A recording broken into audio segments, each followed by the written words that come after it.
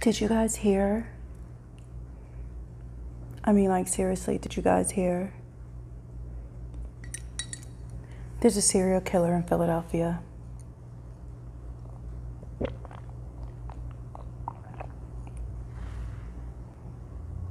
I'm not lying.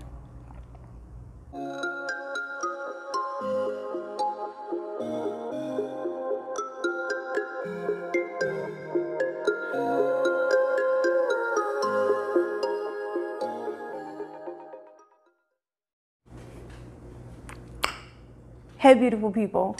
Welcome back to episode two of my new series, Unsolved Mysteries in Makeup. And before we get into this week's episode, which I'm extremely excited about, let me just say, y'all really be out here clocking like y'all do. And I knew it was going to happen. I knew somebody was going to say something about something, but it wasn't in the comments. I actually only had one comment, but whatever. I got a message from somebody, and she was just like, hey, girl, your fingers are looking kind of long. Hmm. And I'm like, oh, girl. First and foremost, throughout this whole quarantine situation, I had to like really jump into overdrive when it came to my own personal upkeep. So like I haven't had my eyebrows done at a salon in forever. Of course, I was doing my lashes before. Now I'm on to doing my own nails. And when I say like doing my own nails, like from scratch, every two, maybe two and a half weeks, I sit down and do my. I have like a whole nail salon, like a legit whole nail salon with, um, I use polygel, like different polygels and so much stuff to put inside of them. So let me just show y'all. Okay, you see that? Can we get it to focus? I did that. That little heart thing, that was me. These little individual different color hearts in here. Oh, it won't focus for the life of me. Let me see if I do it like this. Ew. All that. I did all that. And like, if y'all don't know how hard it is to like do it on both hands, sometimes I will do one hand one day and then get so exhausted that I'll do the, the next hand the next day. Or sometimes like even like a day and a half or two days later. I'll start the hand, but I won't actually finish it.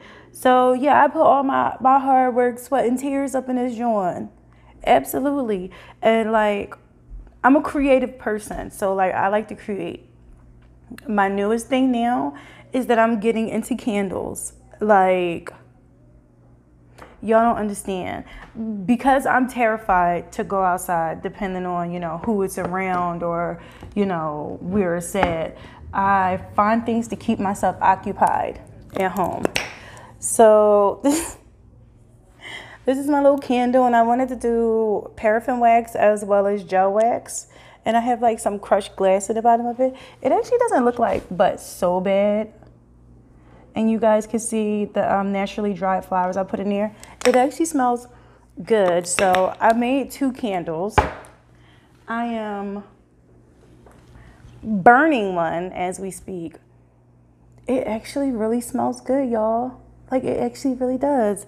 So I'm burning this one to see how it burns. Um, this one I can completely drop the ball on. Um, the gel wasn't solidified before I poured the paraffin wax on top of it and it kind of went down into it. So that's very interesting. But yeah, you know, get into it, y'all. I'm a jack of all trades and I'm going to continue to be a jack of all trades.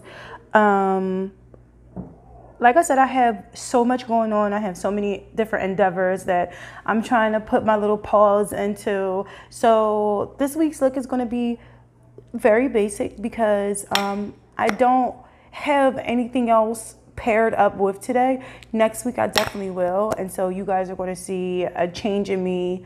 Um, but yeah, today's look is going to be very basic because that's how I feel. Basic and um, yeah, I'm just uh, I'm just taking this as it comes. Um, there are going to be more drastic changes with me because of what I'm trying to do on the side. I actually have to drop some weight, so this tea that I'm drinking is actually fat people tea. Um, I'm on like a tea regimen now, and I did the keto diet last year and I actually was doing good with that. But I stopped doing it for personal reasons. Like I'm I'm an emotional wreck and then like when things don't go how I need them to go. Like I start eating my feelings and drinking my tears, and it was just terrible. So I'm trying to get back into that because I'm trying to live a bit of a healthier lifestyle, and um, I just want to be more appealing for myself. So um, hopefully, over you know the next few months or so, you guys will see a change in me, and um, yeah, just pray for me on this journey. But let's get into this story because this shit is crazy. So, just as a warning, if you guys have not figured it out yet, the fake ass rapper and his girlfriend is back. Loud as all hell, once again. Um, hopefully, they don't start playing music because I just might commit suicide. because that's what he does all day long. He plays music literally all day long. I don't get it. So, um, this episode of Unsolved Mysteries is called 13 Minutes. And it is called 13 Minutes for a Damn Good Reason. Now, it's about um, the disappearance and uh, the eventual murder of Patrice Endres. Um, is kind of like a very very, very, very sad story. Let me get my primer on real quick. Because y'all know I love me some good primer. So, um, it's a very, very sad story. Patrice was 38 years old when she went missing, and she actually ended up going missing on my birthday back in 2004 which is April 15th, if you wanted to know. But um, she has a son named Pistol, Pistol Black, and that literally is his name, which I'm like in love with. Like, how dope is that for a name? His fucking name is Pistol Black. I don't know who named him, his mom or his dad, but that name is fucking epic. He could have became a, a, a celebrity based off the name alone. Pistol Black. If I have a son, I might name my son Pistol Pink. Don't judge me. Anyway, so she had a son named Pistol who was in high school at the time. I think Pistol was about 15 when um, his mother disappeared. Uh, he said that the day actually started off pretty normal they did get into like a little tiff that day. It wasn't anything major, but he said he rushed out. Oh, I'm not going to tie my hair up this week. I don't really have anything going on. I mean, I got to run some errands, but whatever. Um, so yeah, he said that they got into a little tiff that morning, but other than that, um, it was a pretty, you know, pretty normal day. Uh, he actually ran out the door to hurry up and get to school because it was a girl at school that um, he was dating. So at some point in time in his school day, um, it was like an officer that showed up to his class, and the officer brought him down to the office, and he was all like, "Son, have you spoken to your mother?" And he like, "Nah, I ain't speak to her." Why would I speak to her? He's in school. Why would he speak to his mom? But I guess I could understand, like, you know, just in case if something happened and she had called him and was like, hey, listen, this is what's going on, or text him, or even just left him a voicemail, just anything. So I guess I could kind of understand that. Um, so he said that he called his mom, and normally, if um, if she, she didn't answer, you know, at some point she would answer him back. She would call him back, should I say. So she called him three times, no answer at all. He said that at that moment he knew for a fact that something wasn't right. So Patrice was married, and um, she was married to this guy named Rob. Rob was 20 years older than her. Now, this Rob character, I don't like him. at all. He's very creepy. Something about his eyes gives me the heebie jeebies. I'm just like, I'm not feeling this Rob guy. Um, Rob has some things with him that I'm just like, I'm like, this is suspect. This is just way too suspect for me. I don't know how I feel about this. Like, watching Rob, because like I said before, they do interviews, and just watching Rob give his interview, like, it just made me uncomfortable. It made me very, very uncomfortable. Very uncomfortable. Um, of course, you know, Rob had so many good things to say about Patrice, that was his wife. Um, he was 20 years older than her. And um, he said he met her one day when he went into her salon. I'm sorry, y'all. Um, Rob did not meet Patrice at her salon. He met her at a salon. So she was renting a chair at a salon and he needed to get his hair cut one day. So um, he stops in and he meets her. And, you know, he said from the get go, he knew that he was meant to marry this girl, right? Well, woman, because she was older. Um, Rob actually helped Patrice get her own salon. That was her goal and her dream and everything. And let me tell you, as a salon owner, Patrice had quite the reputation. Um, like I said, Rob had all these good things to say about her. Her friends had so many good things to say about her. But another thing that her friends always said was that, you know, like her son was her world. Like 100%, without a doubt, her world. Like her world revolved around Pistol. And you know who didn't like that? That motherfucking Rob. Now, according to Pistol, he says that his relationship with Rob was good for the first year. And after that, like, Rob started to like really change. And he just became a completely different person. Um, Rob and Patrice were together for, well, they were married for seven years. I'm not exactly sure how long they were together for all together, but my whole thing about it is, is that like, if I have a son and I've been dealing with you for a year and you start acting crazy towards my son, now we have a problem. And I mean, when I looked at her wedding photos, she looked extremely happy and, you know, it's what she wanted, but I don't know. I don't know. Um, Rob is described as being like overly protective and extremely jealous. And this is something that not only Pistol says, but this is something that Patrice's friends say. So, you know, Rob is just like, oh, I'm supposed to be overly protective and so on and so forth. It's just a lot of things that he say that's like extremely creepy to me. And there's a lot of things that he does that's like crazy. It's so insane to me. Um, turn around and the day that Patrice goes missing, um, it's just a lot going on. Uh, she had a full roster of clients that she was supposed to see that day. So she's seen two clients in the morning, and I'm gonna go over this timeline with you guys. She's seen two clients in the morning, and when a third client called her to reschedule, she didn't answer. And if I'm not mistaken, the third client went to the salon and she wasn't there.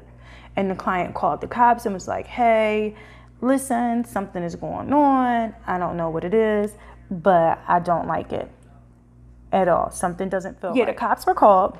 And like I said, at some point in time, not too long later, this is when Pistol was pulled out of class. Um, it is said by Rob that him and Patrice had this amazing relationship they never argued. That's what he would say. Like they would never argue. What's the point of arguing? It's not necessary. It brings negativity into the relationship. And then, according to uh, Pistol, he's like, well, no, they did argue and he fought. And he said that there was times that he wouldn't even come out of his bedroom because of how Rob would act towards him. And, you know, he said that Rob would have snarky comments. His friends stopped coming over because of the things that Rob would say. And, um, yeah, like, everybody can talk about how, like, this Rob character was like, a half shitty dude except for Rob himself. Of course, he's going to paint himself in the best light, but he paints him and Patrice's relationship as if it was fucking God's gift on earth. And I'm just like, wow, okay, there's so many discrepancies in this story already. Like, it's insane. Um, you know, Rob really hated Pistol. And when I say hate, like I mean it like with all intensity. He hated Pistol. And the reason why I say that is because um, the day after Patrice goes missing, Rob changes the locks on the house.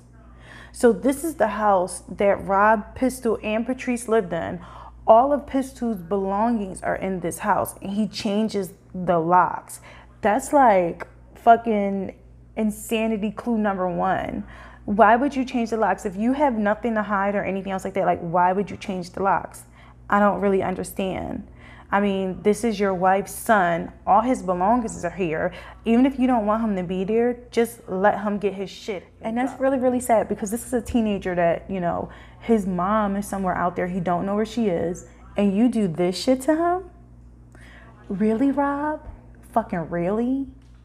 Fortunately, Pistol has his father that he can turn to. And unfortunately, his father is devastated because, from what Pistol says, his mother and father were actually still best friends. They talked every single day, and when his mother went missing, his dad was devastated. And I can 100% understand that.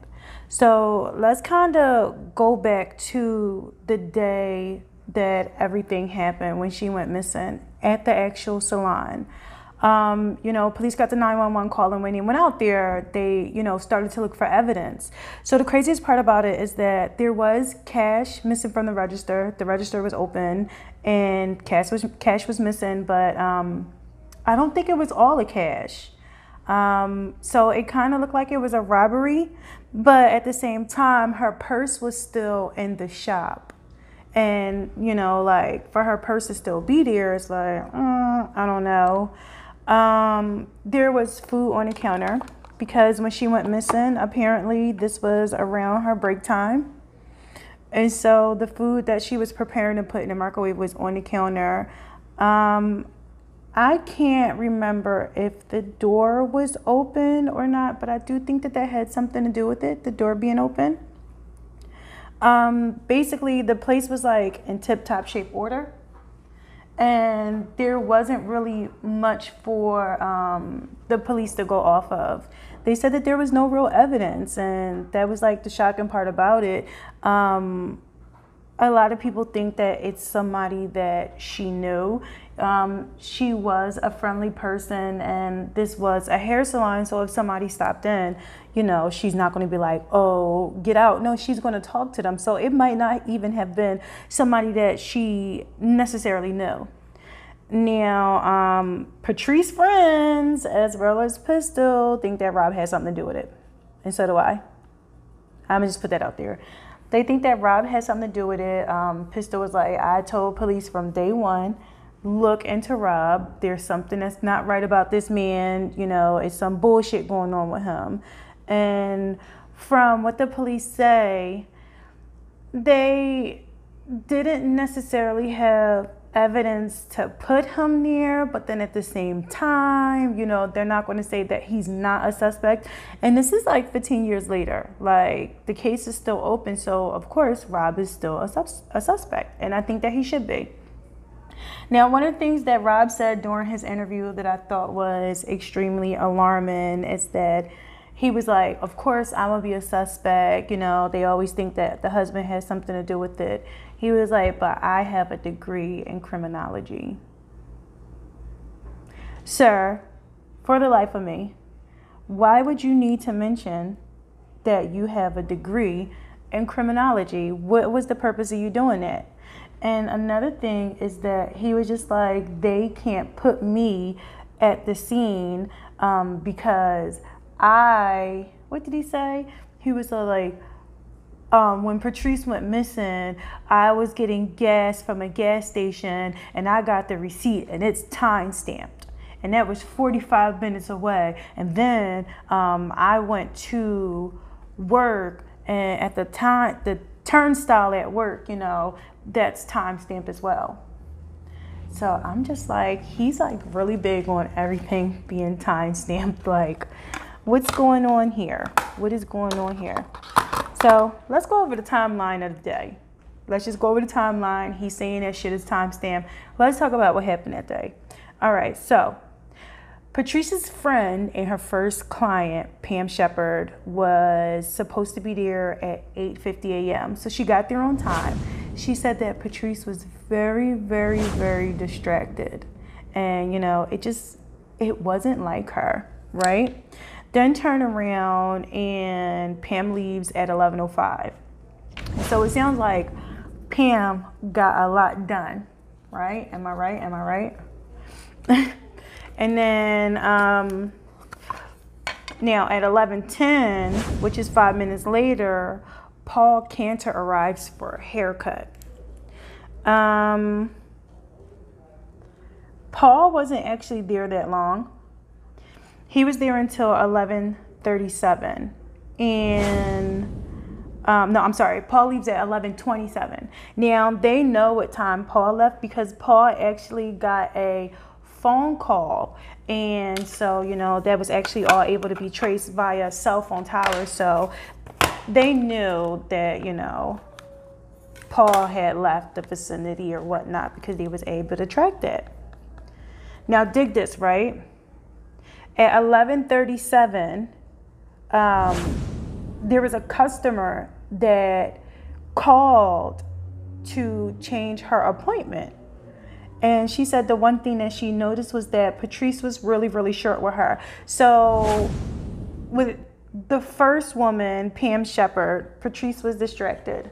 And then with um, this woman calling, I, I don't know her name, she said that, you know, Patrice was really short. So there was something going on, right? At 11:50, um, somebody else calls Patrice, another customer calls Patrice because she needs to change her appointment that she had that day. And what happens? Patrice doesn't answer.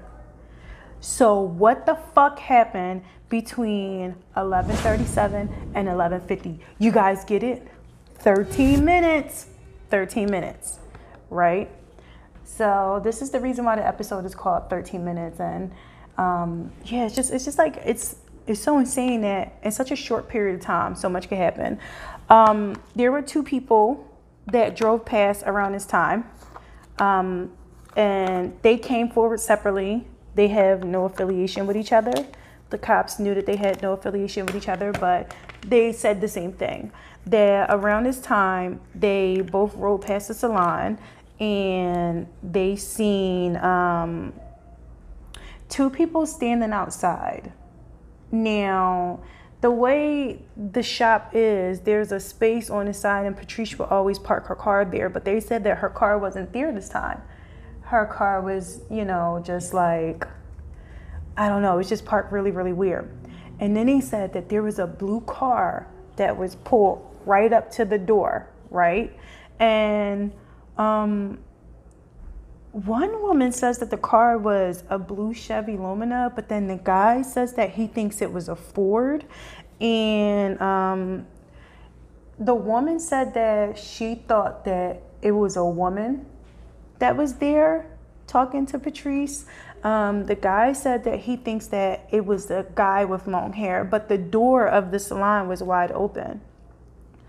Um, the woman is actually like extremely scarred by this whole situation because she's just like, if I would have stopped, it's a possibility that, you know, Patrice would still be alive today. If I just would have stopped, I could have stopped whatever happened. She was friends with Patrice. She was friends with Patrice, and, you know, like she's known Patrice for quite some time, and um, she just deeply regrets not stopping. And I, I think that's so fucking heartbreaking, y'all. Like I think that is like extremely heartbreaking um, to know that you could have been there to prevent something extremely bad happening to your friend. And, um, ooh, didn't mean for that to happen. It just, it's just so many different moving parts to this whole story. So, um, Pistol's in school one day, and this is December 6, 2005. So, Pistol was in school, and um, he's called down to the office again. And by this point, like, he's used to it. He's kind of like a problem child. I mean, and I can understand that. A lot of times when things happen, like, children develop behavioral problems. So he's called down to the office, and his dad is there. And um, his dad is like, Listen, you know, um, we found your mom. And he's all like, Cool, where is she? And his dad is like, I don't think you understand. We found your mom's body. So, exactly 600 days later, they found um, Patrice's body. And what ended up happening was there was a church that was about 10 miles away from Patrice's salon.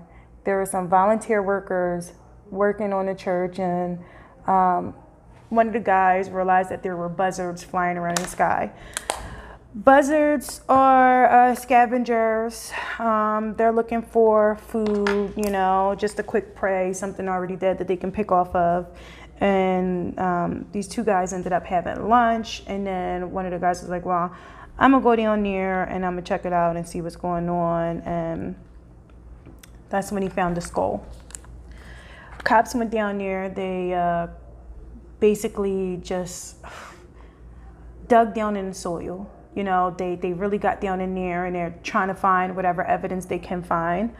Um, they actually did not find Patrice's complete body because at this point in time she's just skeleton. It's it's just bones. They didn't find everything. They found a little under half of her body, and um, now they knew for a fact that she was dead. Uh, Pistol was devastated at one point in time. You know, before they found his mom, he was out there in the woods just walking for miles, screaming out her name. You know, just trying to find his mother, figure out what happened. Um, I don't know if Rob ever went out on any of these expeditions to go find Patrice, but if he didn't, I just wouldn't fucking be surprised. I just wouldn't. I'm sorry. I just think that Rob is the bad guy in this whole scenario and try and change my mind. Um, yeah, so when the remains are collected and taken to the funeral home, Rob is notified, and what he does is he goes down to the funeral home and he asks them to assemble her body as best as possible. What, Rob? What? Yeah, so Rob, being the creepy fella that he is, he gets the funeral home to assemble Patrice's body out on a table. And he goes and um, he says this is the last time that he's seen her as intact as she could possibly be. Um, basically, he goes and he cradles the body. Well, he not the body. He cradles the skull, and you know he kisses her skull and tells her skull that he loves her.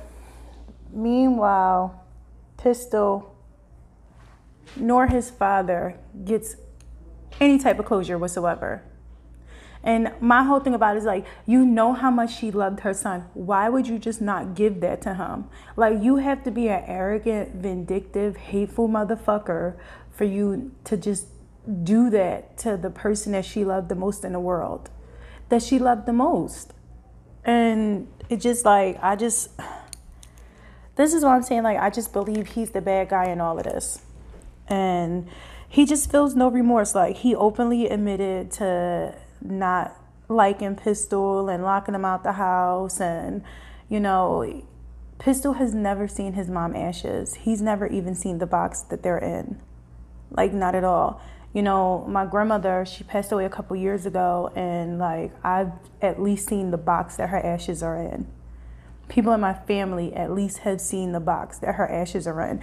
And that's that's the thing about it is that like closure to me especially when like a situation like this where everything is just so all of a sudden there's no warning that closure to me is very very important and he kept that from this this family um, i do know that patrice's dad also is a part of this uh, episode of unsolved mysteries but um, it's never mentioned whether he gets closure if you know he even talks to Rob. Rob doesn't talk to anybody. He openly admitted that in the beginning of, of the episode. Like, I don't care about what any of these people have to say because I don't talk to any of them. None of them whatsoever. And um, Rob, in a creepy fashion that he's in, he goes into it looks like it might be like a garage or something, some type of storage area. And he pulls out the box that um, Patrice's uh, ashes and Ren, and he says that for the first year after they found her remains, um, he slept with her ashes, with her bag of ashes. He slept with her bag of ashes, and he was like, you know, she was like a teddy bear to me. Like this is how we slept in real life, so this is how I went to sleep with her in death. And I'm like, okay. And nobody thinks that this is weird. Rob, nobody thinks that you're weird. I, I just want to know, like, what does Rob's family have to say about any of this stuff? Like, what does his family have to say? Like, do you guys think that Rob is okay? Rob's family, if you're out there, do you guys think that Rob is okay? Because honestly, I don't know. I don't know. Um, now, and an interesting turn of events. So, in a strange turn of events, um, there were actually two killers, two convicted killers that were interviewed. So the first guy was Gary Hilton. He was a murderer. Um, and then there was uh, Jeremy Jones. Jeremy Jones was actually a serial killer. So uh, Gary Hilton did not admit to it, but Jeremy Jones did. So peep game, right, guys? Jeremy says that he was riding through, and one of the places that he likes to go is actually uh, beauty salons. So the cops are like, wait a minute now, a beauty salon. He's like, yeah. He was like, so I went to this beauty salon and I met Patrice. I asked her to give me a jump. And then he described where the car was, like how the car was placed, which made sense because remember I said that Patrice's car wasn't where it normally is. It was moved. And they thought that that was really, really weird. They wasn't sure if the killer moved it or if she was giving somebody a jump. So he was like, yeah, she gave me a jump. Right. Now, Jeremy says that he kidnapped her and he took her out to the woods. He says that he killed her and then he ended up throwing her off this bridge into the water. Mm, it seemed like it was pretty good, but the cop said that sometimes what happens is is that people confess to murders that they could never possibly be a part of. And even though his seemed to line up at the time when they actually went back and they started checking all these places, there was no possible way in the world it could have been him. Later on, Jeremy ended up recanting his statement, so that was pretty salty, right? Very, very salty. Hold on. Let me do my setting spray real quick. You know how I love a good spray. Ooh, refreshing. Um, yeah, so um, all in all, Patrice's murderer was never found. Um, the one thing that the cops did say about why it didn't make sense when Jeremy said he threw off the bridge because when they did find Patrice where she was in the woods, um, her body couldn't have gotten near from the river. Another thing is is that it was it was such like a crazy terrain, like uphill, downhill, you know, slopes and shit. They said that they can't see somebody carrying her body from the salon that far or they didn't know if she was carried or if she was walked or you know what have you um, now of course, because we're all professional detectives here, Reddit was all a buzz.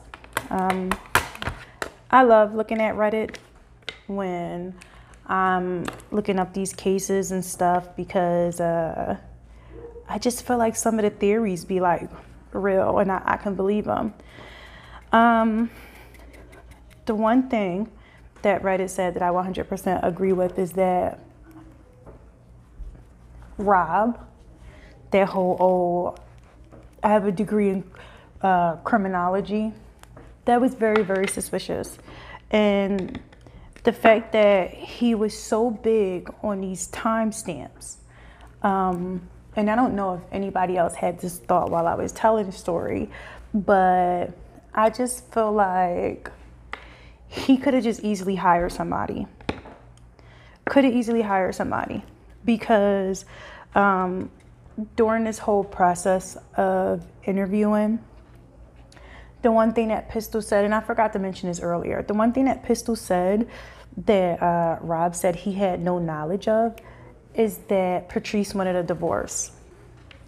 And Patrice's friends actually said the same thing. It was like she was not happy with him anymore. She wanted to get the fuck out of there. You know, like they did argue, they had problems. Now, this is my whole thing, Rob, is that when your girl got problems, her girls are going to know because she's going to talk to them. So for you to sit up here and be like, "No, we never had problems," and so on and so forth, I just I just never believed that and there's no such thing as the perfect relationship. There just isn't. There's no such thing as the perfect relationship and things happen like if y'all argue, you know, there's that's fine like that comes with being with somebody that comes with a marriage. I've been married before, so like we fucking argue like what the hell? Like it doesn't make you a bad person because you argue. What makes you a suspect is when you try and cover up these normal things that go on when you lock somebody's son out the house after they go missing. And my whole thing about it is that if Patrice would have showed up, were you just going to be like, oh, you're back, let me let your son in, or let me explain to you what I did to your son? So, all in all, guys, this concludes my basic look for today because I'm feeling very basic. But, um, that is the story of Patrice Endres, and it is still an open case. And I just feel so bad for her family and her friends. Not for that motherfucking Rob, though. Um, her son, Pistol, and his father and his grandfather. I, I hope that they find uh, comfort in the memories that they once shared with Patrice. All the pictures that they had with her, and you know the stories that they can tell about their time with her. Um, what I said in the beginning, guys, was 100% real. Um, there are reports that there is a serial killer here in Philadelphia. So if you're in Philadelphia or the tri state area, please be careful. If you are the killer and you see this, knock it the fuck off. No, in all seriousness, though, um, just be aware of your surroundings and um, be aware of who you're with and at what point in time. And um, I don't know, like it's not really much that I can say. Like I don't really I don't really go out and socialize anymore because I'm always working or I'm always trying to do something. So I just I just don't really trust people. I've I've gotten off of work at four o'clock in the morning before, and I had somebody um, that pulled up on me and tried to get me to get into their like it was like an Escalade or a Yukon. It was something big, and I was just like, mm mm no, sir, no, not at all. This was in the wintertime. He didn't have on a jacket, no nothing. He was like, come on, get in. And I was like, what? Oh, child. And I'm I'm not a small girl, so I was petrified when that happened. I was just like, oh hell no.